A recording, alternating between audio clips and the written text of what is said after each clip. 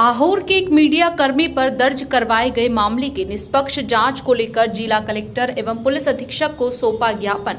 जालोर, आहोर में मीडिया कर्मी पूरण कुमार पिछले करीबन 15 वर्षों से मीडिया कर्मी के रूप में कार्य कर रहा है। मीडिया कर्मी पूरण कुमार की माता के नाम आहोर कस्बे के खारा मार्ग पर प्लॉट आया हुआ है।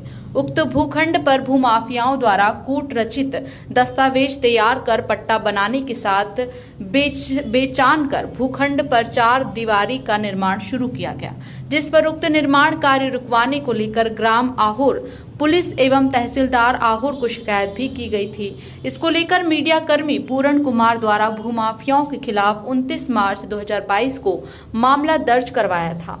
जिसकी मुकदमा संख्या उनबे है, जिस पर आरोपियों द्वारा करीबन 15 दिन बाद मीडिया कर्मी पूरण कुमार के खिलाफ 1 मई 2022 को मामला दर्ज करवाया गया है, जिसके एफआईआर संख्या एक सौ छियालीस है। उक्त मामले की समस्त मीडिया कर्मी निष्पक्ष जाँच करने को लेकर सौंपा ज्ञापन है। इस दौरान आहोर जालोर के काफ़ी संख्या में पत्रकार बंधु मौजूद थे। ये मेरे के नाम से 2004 का पट्टा हुआ था। उस पर होली की छुट्टियों में उन्होंने कब्जा शुरू कर दिया। फिर मैंने पुलिस को भी रिपोर्ट दी। इसके बाद तहसीलदार साहब को दी ग्राम पंचायत काम नहीं रुका। छुट्टियों का हवाला लेके इन्होंने काम बाउंड्री निकाल दी। फिर मैंने एडीएम कोर्ट में पट्टा निगरानी लगाई। मुकदमा भी कूट चीफ दस्तावेज़ का। मैंने मामला करवाने के बाद उन लोगों के खिलाफ मामला मामला ये है कि मेरे मदर के नाम से 2004 का पट्टा बना हुआ था। उस पर होली की छुट्टियों में उन्होंने कब्जा शुरू कर दिया। फिर मैंने पुलिस को भी रिपोर्ट दी। इसके बाद तहसीलदार साहब को दी, ग्राम पंचायत काम नहीं रुका। छुट्टियों का हवाला लेके उन्होंने काम, बाउंड्री निकाल दी। फिर मैंने एडीएम कोर्ट में पट्टा निगरानी लगाई। मुकदमा भी कूट चीफ दस्तावेज़ का।